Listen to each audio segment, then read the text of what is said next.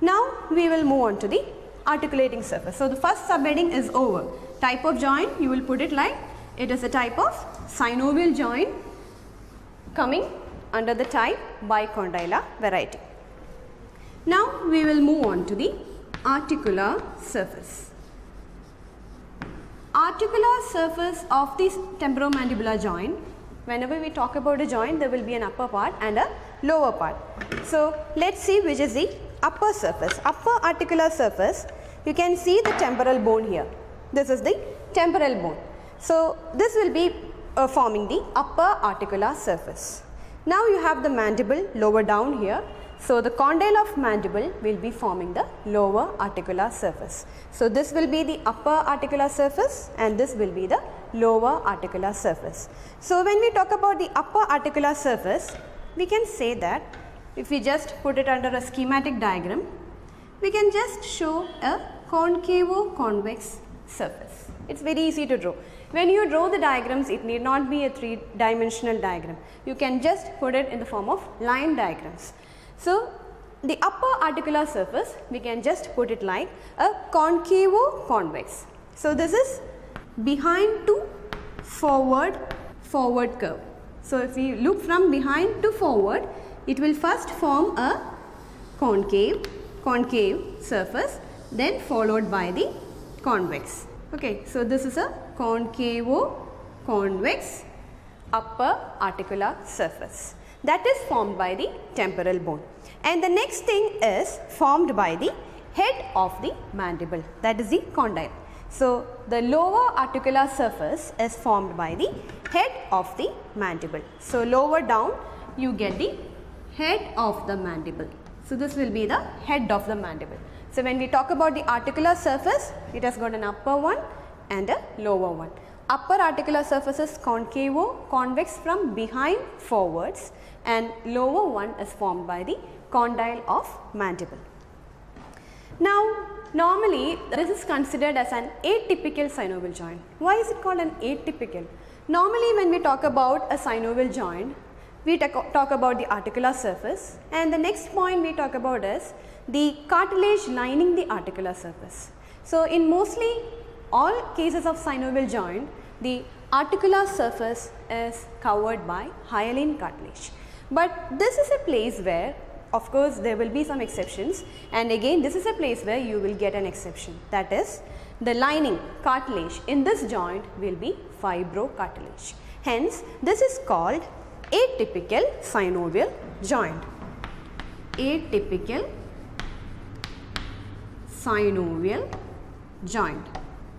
So, the reason is normally any synovial joint if you take it will be lined by. So, this region will be lined by hyaline articular cartilage whereas in this joint temporomandibular joint instead of the hyaline articular cartilage you get fibrocartilage. Hence, this is not following the general rule of a synovial joint. Hence, we consider it as atypical synovial joint. Now, we have seen there are two articular surfaces. Normally, a synovial joint you will have two bones. It will be lined by a cartilage and that is it. But again, there are some exceptions. Here, in between these two bones, you get something in between. So, what could it be? That is, you get an intermediate thing line between the two bony articular surfaces. This is called articular disc. So, this joint is actually divided into an upper compartment, the compartment lying above this disc and a lower compartment, the part which is lying below the disc. So, this synovial joint entirely is divided into an upper compartment and a lower compartment by an articular disc lying in between. And this articular disc is made up of fibrocartilage. So, how will we name the upper compartment and lower compartment and what is the importance of the upper compartment and lower compartment? Why can't we consider this as a single synovial joint? So, all these things you will be having in your mind when we talk about the fibrocartilaginous articular disc. Though we say that uh, the articular disc is fibrocartilaginous, it is mainly made up of collagen fibers and a few cartilage cells. So, though we say that this is fibrocartilaginous, it is mainly made up of collagen fibers. So, we have already mentioned the upper articular surface as like this concavo convex from behind forwards. But when we talk about the articular disc, it has got an upper surface which is in contact with the upper articular surface and it has got a lower surface which is in contact with the condyle of mandible. So, this articular disc should fit in between smoothly for the smooth movement.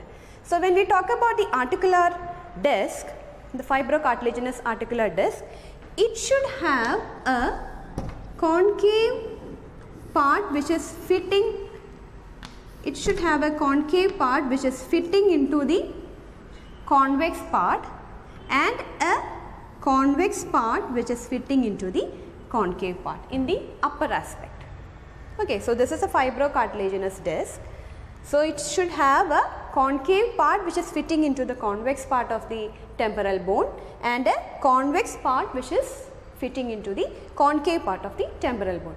So that is about the upper surface of the fibrous articular disc. But the lower part, lower part is simply concave.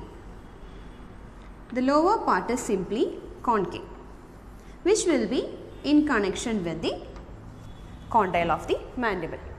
So, when we talk about the fibrocartilaginous articular disc, it has got a convex and concave parts which directly fits in with the upper articular surface and a lower part which is just concave which helps to include the condyle of the mandible. So, this is the fibrocartilaginous articular disc and uh, sometimes this may be asked as a one of the sub question in case of essay. So, we can little bit elaborate on it. We have already mentioned it is a fibrocartilaginous disc.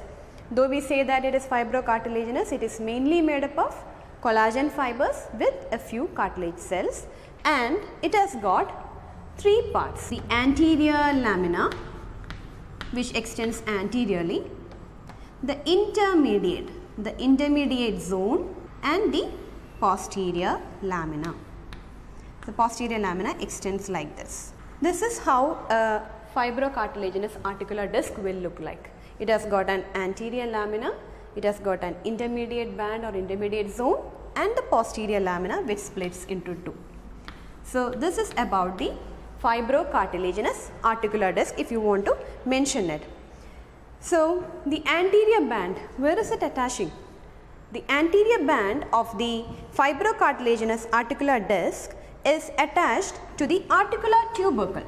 You have the articular tubercle of the temporal bone. So, the anterior lamina is getting attached to the articular tubercle of the temporal bone and posterior lamina is getting attached to the squamotympanic fissure.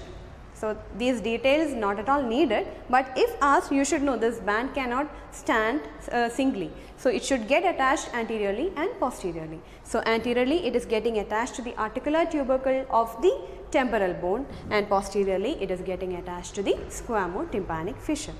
So, this is about the fibrocartilaginous articular disc.